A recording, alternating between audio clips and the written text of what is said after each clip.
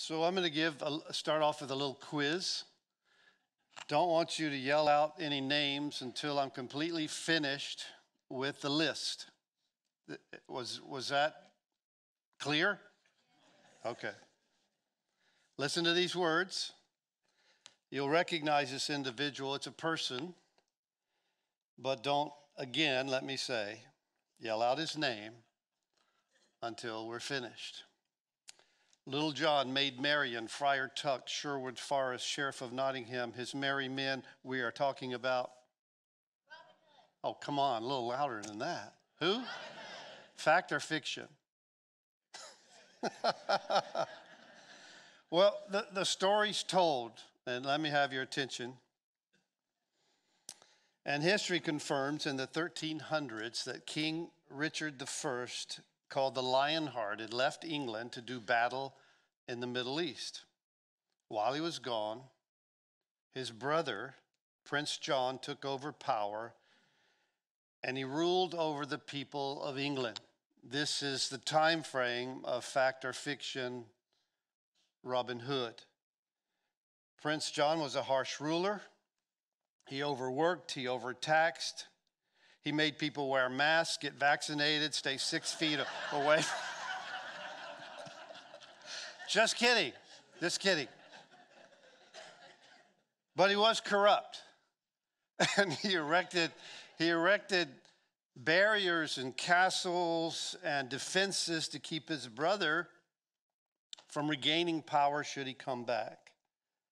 But as Richard and his men arrived on the shores of England, they pushed through the borders, they pushed through the defenses with great ease. And as he made his way back to his throne, to his castle, people in villages and hamlets would, would ring the church bells and shout, The king is coming, the lion has returned. And so is the message of the book of Revelation.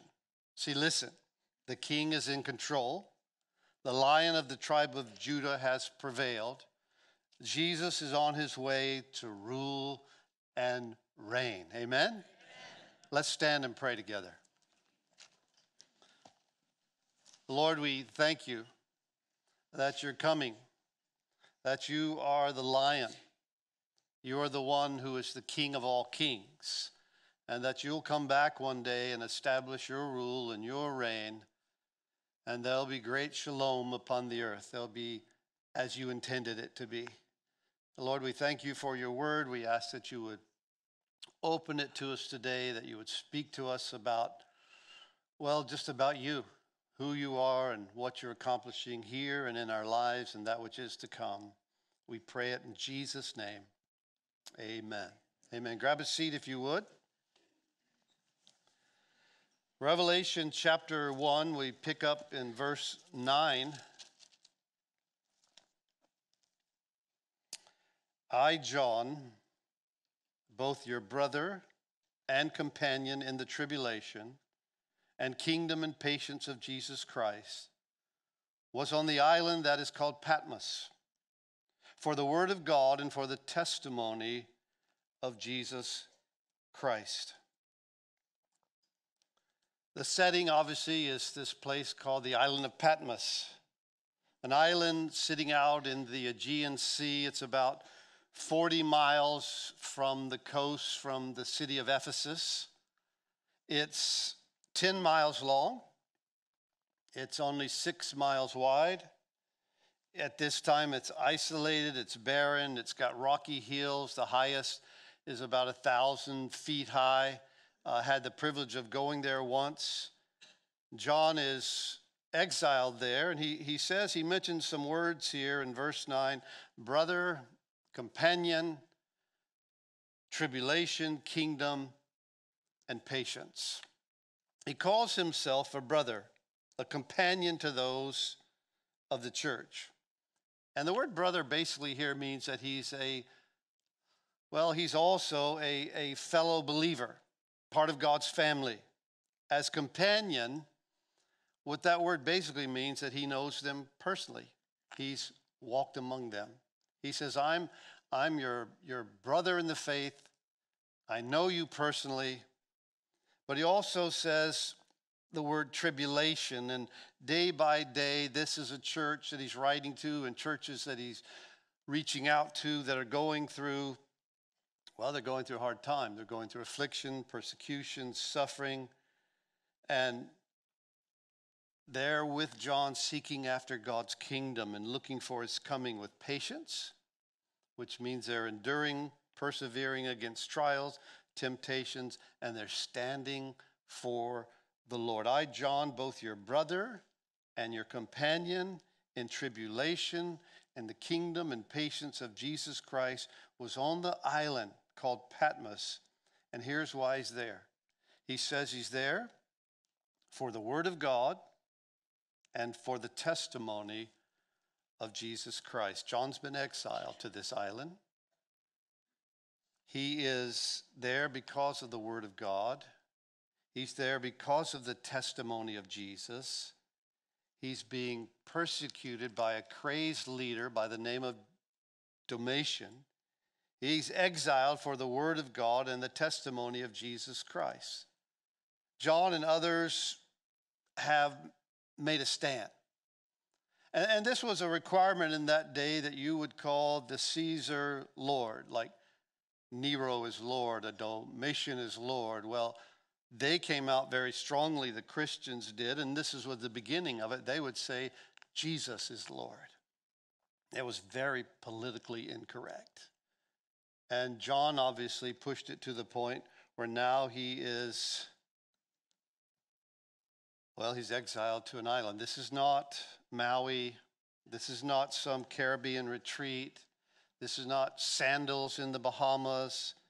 It's a place of isolation, it's a place of imprisonment, it's a place of hardship. But it's also a place, and I want you to tune in, I want you to hear this part. It's also a place where John experiences great insight and revelation and personal understanding of who Jesus is. And I would submit to you that it was in exile that Jacob experienced God at Bethel in a way he never would have otherwise, where Elijah in a cave heard a still small voice, where Daniel saw the Ancient of Days, where Shadrach, Meshach, and Abednego in a fiery furnace were given a revelation like never before. And here's the thing maybe, maybe you're on your own island of Patmos today. Maybe you're going through some circumstance and it's hard. Maybe you're lonely. Maybe you're in some kind of painful situation. Maybe your marriage is just falling apart. We certainly live in a culture today where that's rampant, where the enemy has come to kill, steal, and destroy. Maybe you have an illness. Maybe it's the loss of a loved one. Maybe you're parenting a prodigal.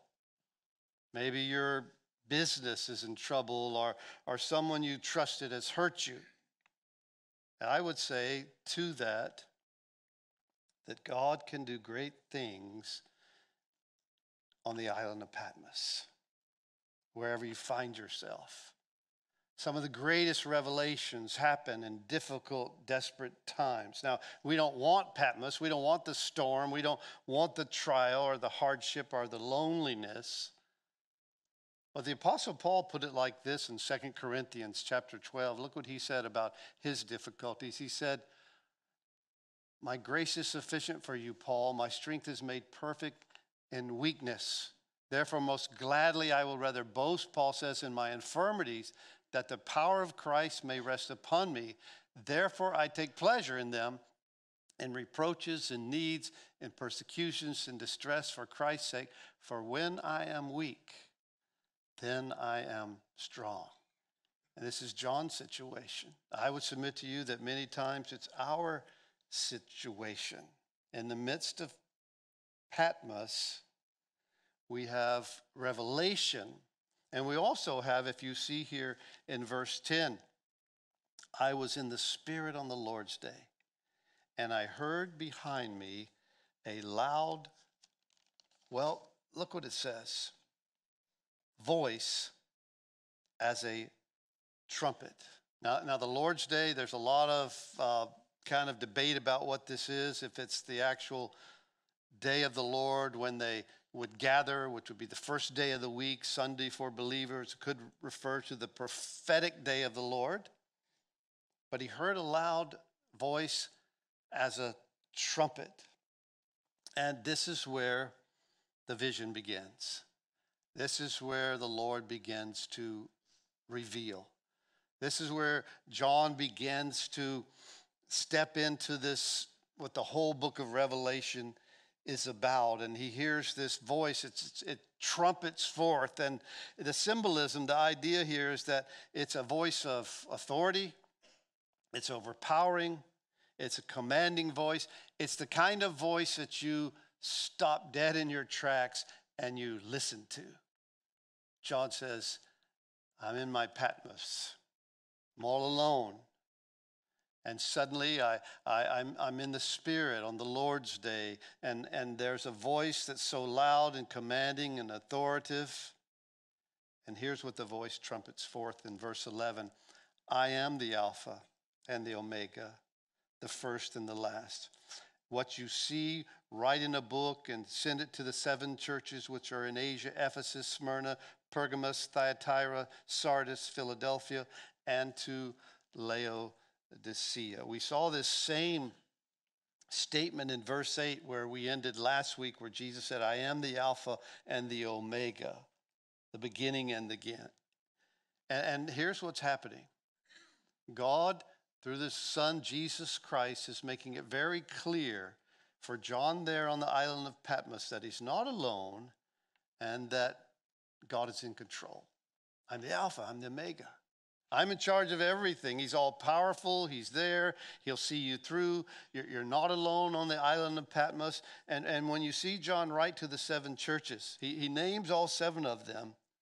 And John was to take what the Lord had given him and give it to the church, to edify them, to, to, to build them up. This book, the book of Revelation, must be taught in the church. It's to edify the church, it's to build up our faith. Look, look at verse 12. He says, then, then I turned to see the voice that spoke with me, and having turned, I saw seven golden lampstands. And in the midst of the seven lampstands, one like the Son of Man, clothed with a garment to the feet and girded about the chest with a golden band.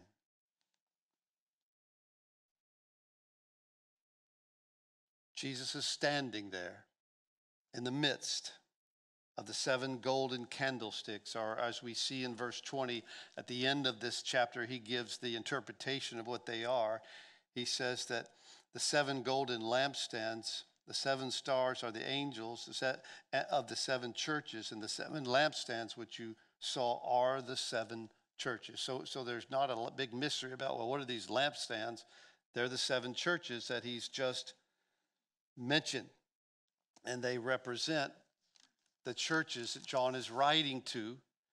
And it says Jesus is in the middle of the candlesticks or the lampstands, the seven churches. And the idea is this please listen, please tune in that Jesus is the light in the midst of the church, He's the light of the world.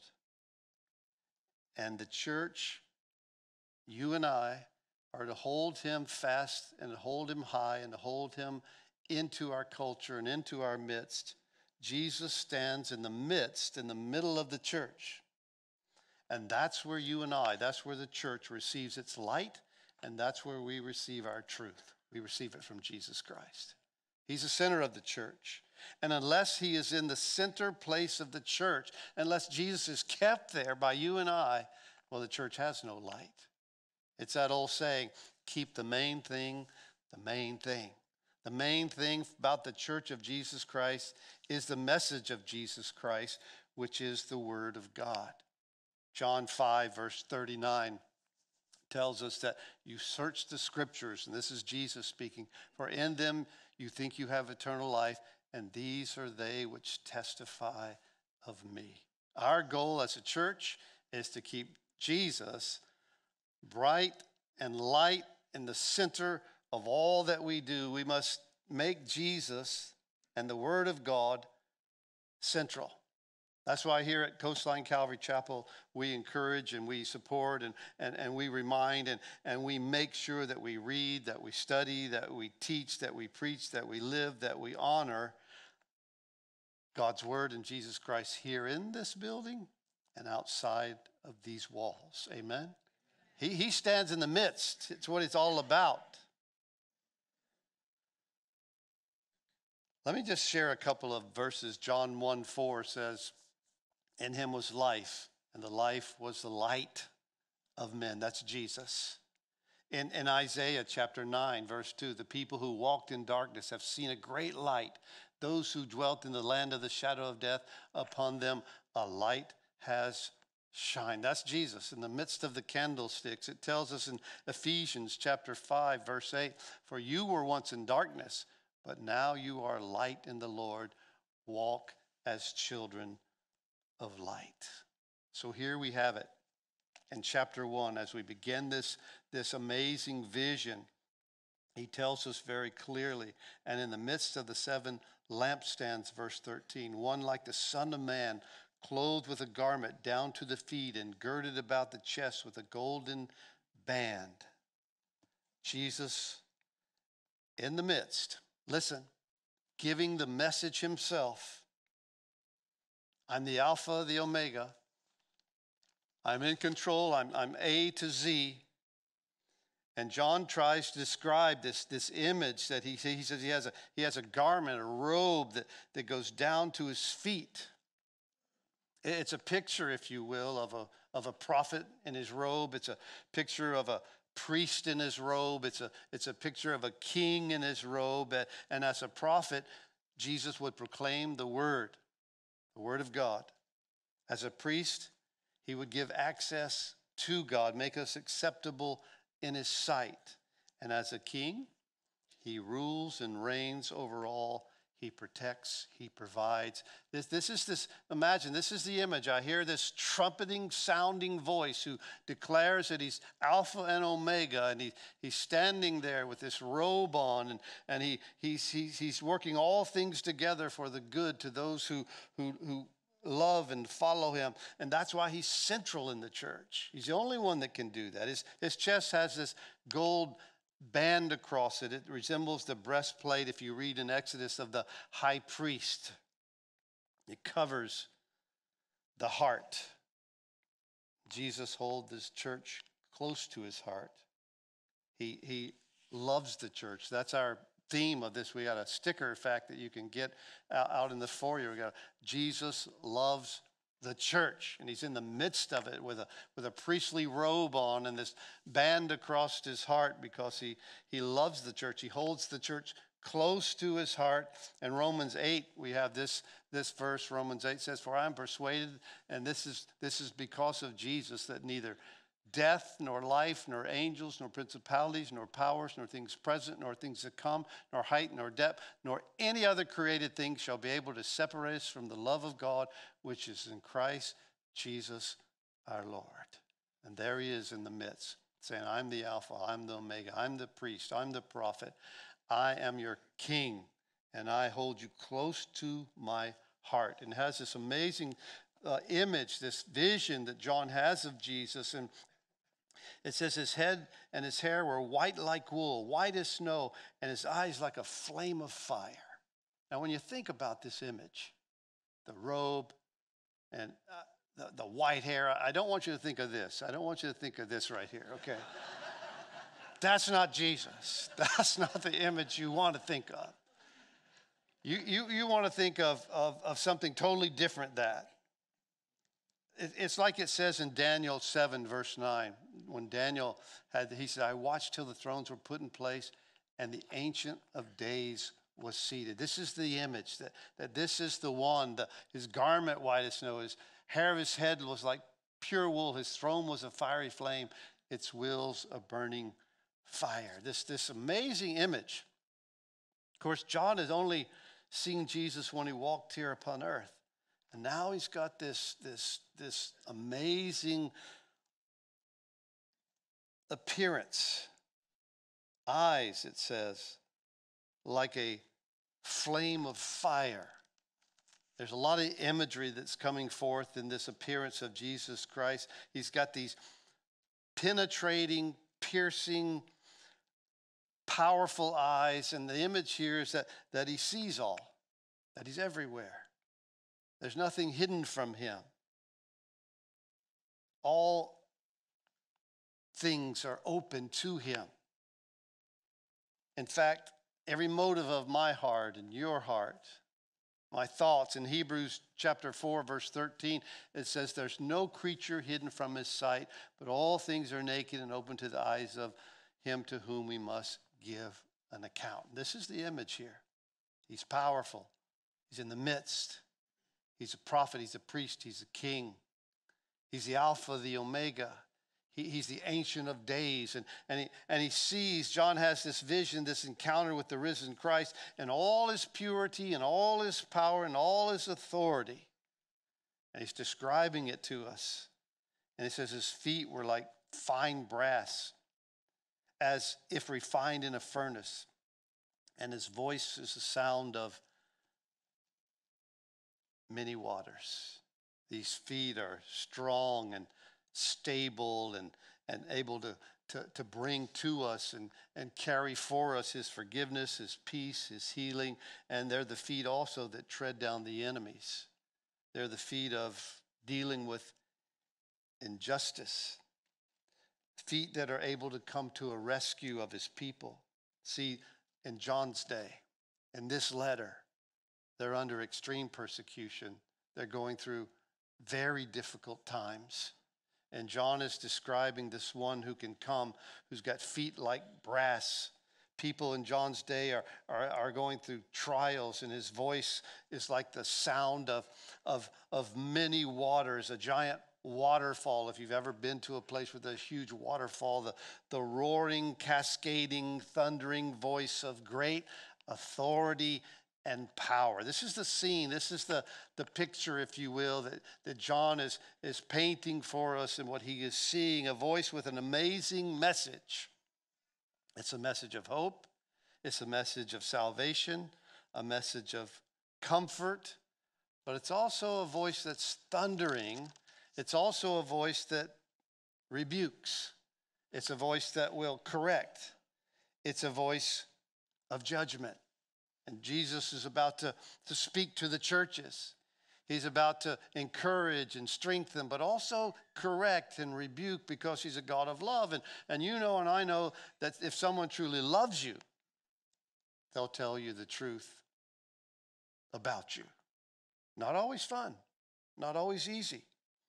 Some scriptures that, that speak about the voice of the Lord, like Psalm verse uh, 29 says, The voice of the Lord is powerful the voice of the Lord is full of majesty. And this is what John's hearing.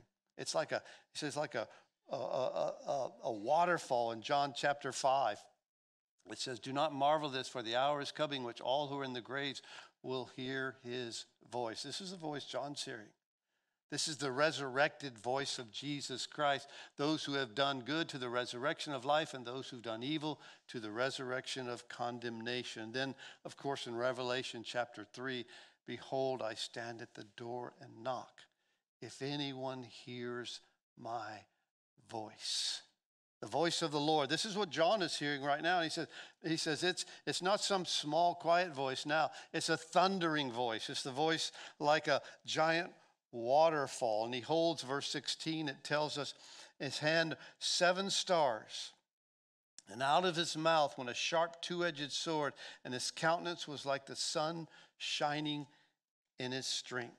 It tells us in verse 20, it gives us the interpretation of these stars. It says, The mystery of the seven stars, which you saw in my right hand, and the seven golden lampstands.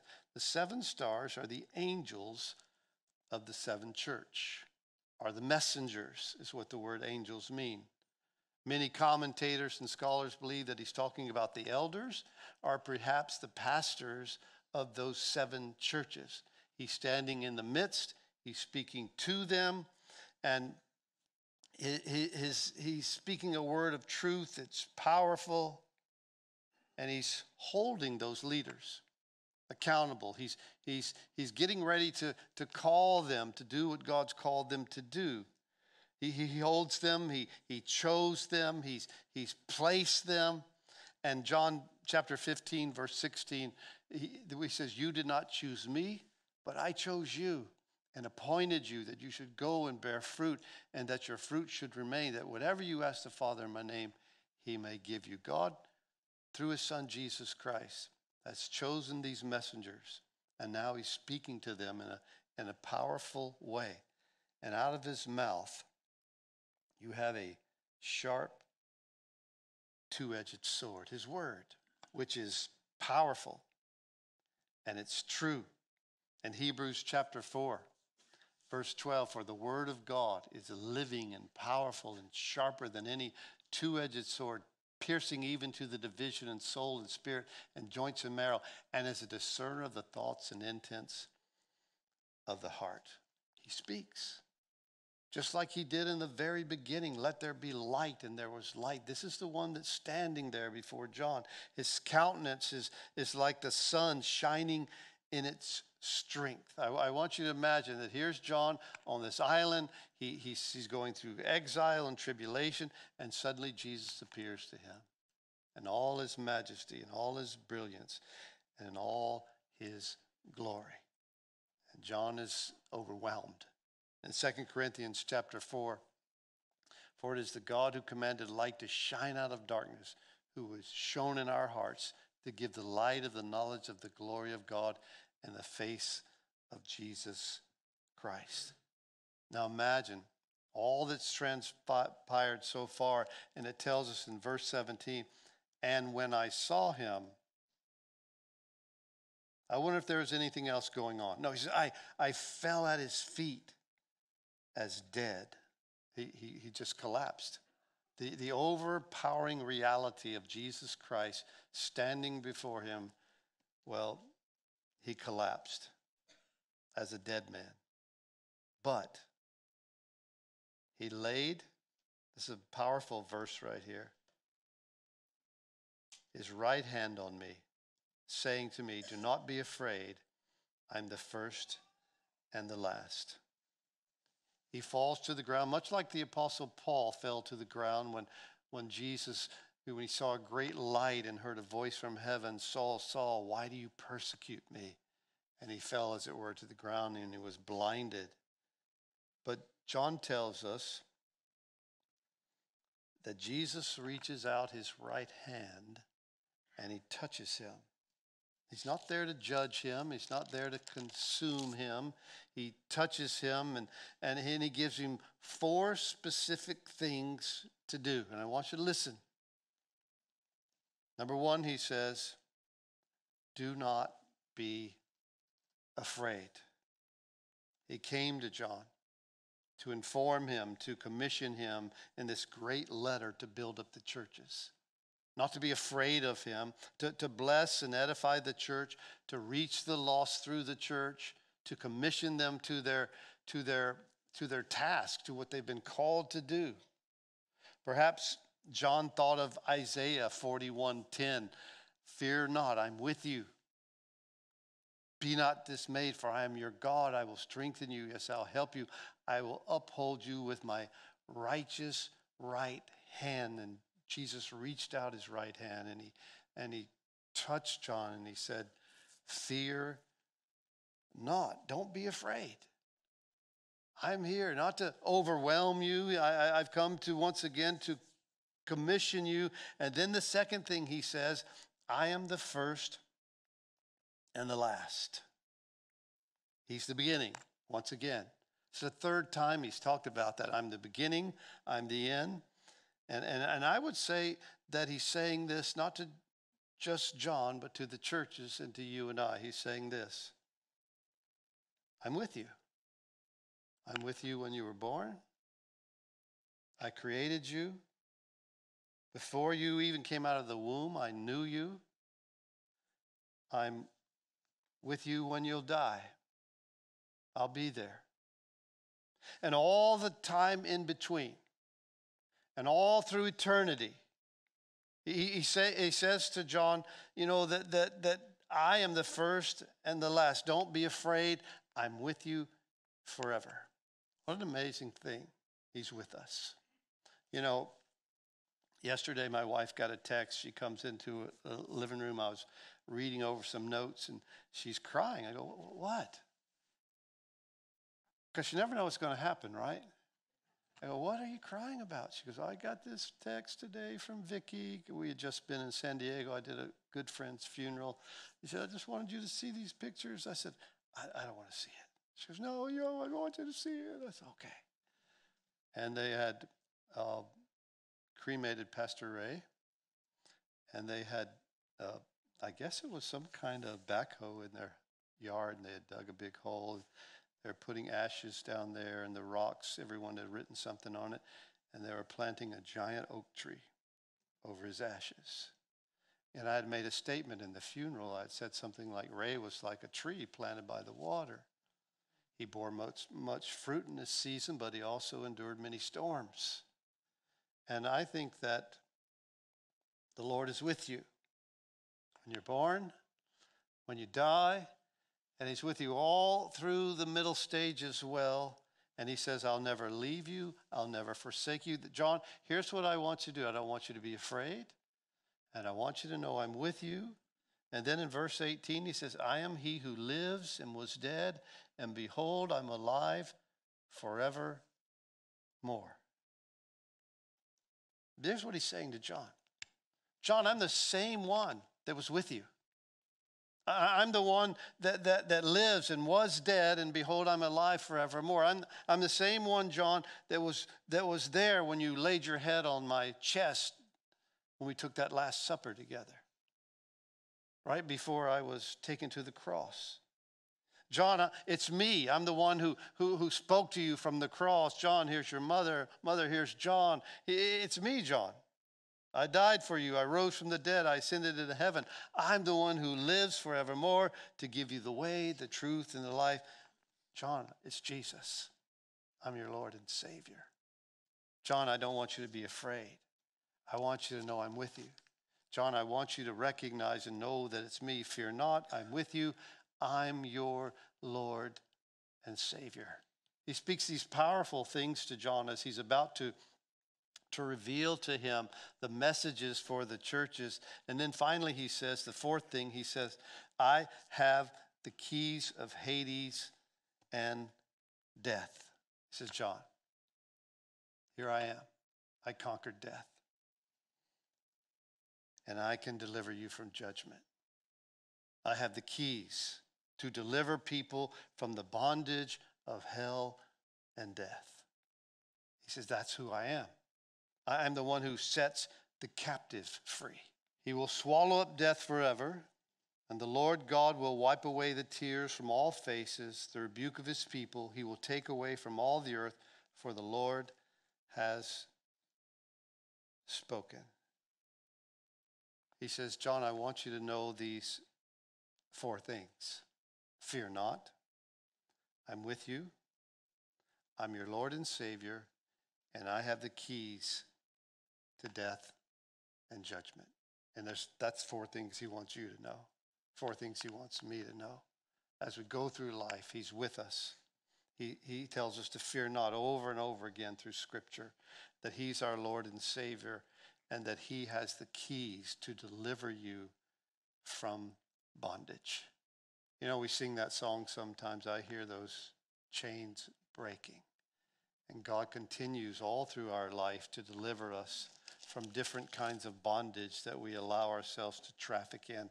He goes on in, in verse 19 write these things, or write the things which you have seen, and the things which are, and the things which will take place. John, I want you to write three things. Don't blow it, John. At least get this down.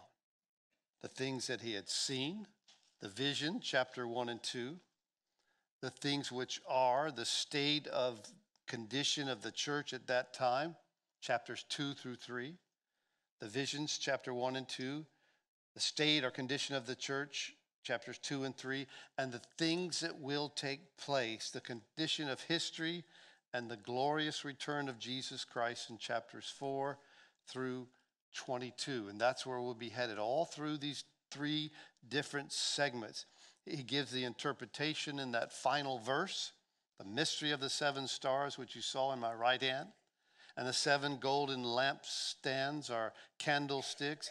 Seven stars are the messengers of the seven churches, and the seven lampstands, which you saw, are the seven churches. Now, in 1 Thessalonians chapter 5, verse 5, it says, You are all sons of light and sons of the day.